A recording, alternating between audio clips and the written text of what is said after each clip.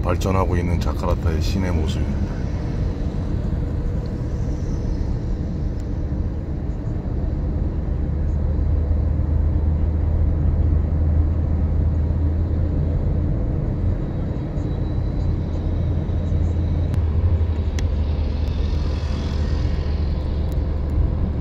빈부의 격차가 아직도 심한 곳이죠.